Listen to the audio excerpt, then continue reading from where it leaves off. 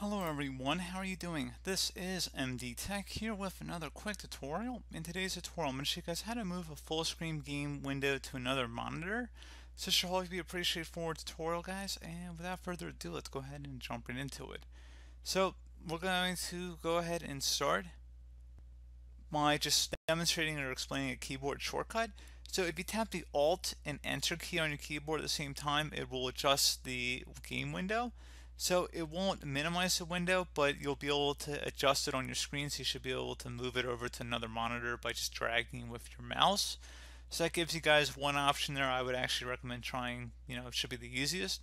Another thing you can try would be to open up the start menu and select the setting gear icon on the left side. We hover over it, it says settings. So go ahead and left click on that. Select the system tile. And now you want to select display and on the right side you want to go and scroll down where it says multiple displays.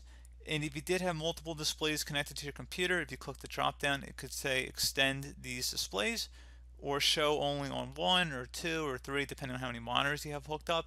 So you can just adjust it by selecting show only on two or show only on one depending on which monitor is set as your primary monitor of course and which monitor you want to actually have the game or whatever program you're using switched over to it so pretty straightforward process there guys. Do hope that I was able to help you out and I do look forward to catching you all in the next tutorial.